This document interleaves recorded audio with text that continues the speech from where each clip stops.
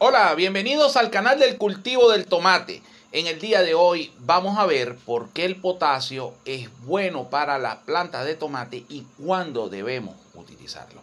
Sean ustedes bienvenidos.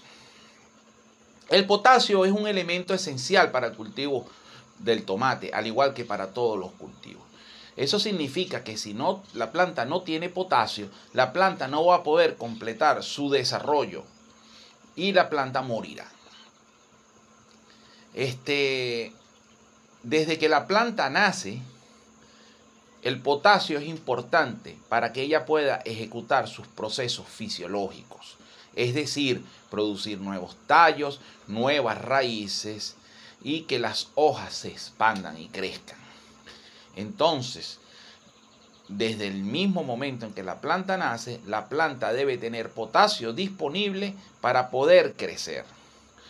Luego, la demanda de potasio por parte del cultivo va creciendo en forma progresiva. Eso va a variar dependiendo de cuál es el híbrido o variedad de tomate que estemos trabajando. Pero lo cierto es que es una curva de este tipo. Al principio es lento, después sube fuertemente y después puede mantenerse en el tiempo y bajar. En un caso, por ejemplo, de un cultivo de tomate para industria, la demanda es baja al principio, llega a ser muy alta y baja de golpe, porque rápidamente ese cultivo lo dejamos secar para poderlo cosechar con máquinas. Si es un cultivo que es para consumo fresco o es en invernadero, la curva es más distendida. Un cultivo de tomate indeterminado, esta curva tarda mucho tiempo aquí arriba y luego es que baja. En un tomate de crecimiento determinado, que se le dan unas 5 o 6 cosechas, la curva es más corta. ¿Qué hace el potasio? El potasio, por ejemplo, en plantaciones bien nutridas de potasio, los tallitos son gruesos y son firmes y sostienen a la planta. Cuando la planta no tiene potasio suficiente, esos tallos tienden a colocarse pequeños, ¿ok? Delgados y débiles. Entonces, su crecimiento está asociado a la presencia del potasio. El desarrollo de las raíces es mejor cuando hay un adecuado balance entre el potasio y el nitrógeno. Entonces, en todas esas fases, la planta está absorbiendo potasio. Porque una de las cosas que hace que una planta crezca es el crecimiento de cada una de sus células. Entonces la planta mete dentro de la célula iones potasio y los iones potasio aumentan la salinidad dentro de la célula y eso hace que absorba agua y se hinche. Si no le entra potasio, esas células no se van a hinchar y no se van a poner duras. Una hoja flácida, floja, está asociada a bajo contenido de potasio. Ahora, cuando las hojas están firmes, es porque tienen suficiente potasio y cada una de las células tiene suficiente potasio para que cada una de las células estén infladitas como un globo. Y al estar infladitas como un globo, este, la planta tiene una textura adecuada.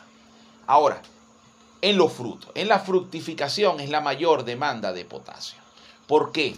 Porque el potasio es el que ayuda a que el fruto crezca y que el fruto acumule sólidos que le dan ese sabor característico al tomate.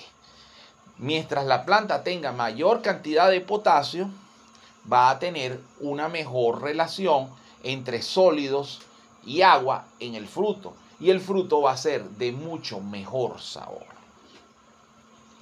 Ahora, si nosotros aplicamos potasio en exceso, pensando que si poquito es bueno, mucho es mejor, nosotros lo que vamos a obtener es que vamos a aumentar la conductividad eléctrica del suelo y vamos a frenar la absorción de agua y vamos a bloquear la absorción de calcio y de magnesio. Y pudiéramos tener problemas de podredumbre apical por exceso de potasio más que por falta de agua o falta de calcio o falta de magnesio.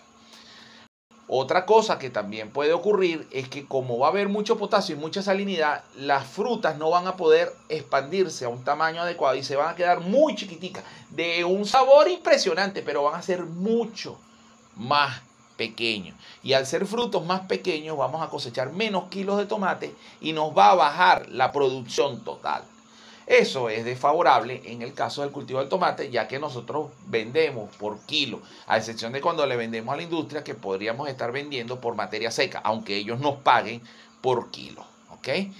Entonces,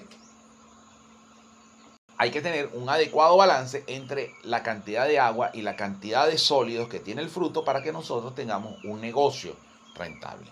Entonces, ¿cuándo debemos aplicar el potasio? El potasio lo debemos aplicar una parte a la siembra y la otra en la medida en que va creciendo el cultivo. Al principio en pocas cantidades y después irlo aumentando progresivamente en la medida en que haya más frutos en las plantas. Este, el software de cálculo de agrotecnología tropical tiene una sección que se llama desarrollo de cultivo, donde nosotros le reportamos cómo se está desarrollando la plantación al cultivo. Y si nosotros le informamos que la planta tiene mayor cantidad de producción nos permite aumentar la cantidad de potasio que se le aplica al cultivo.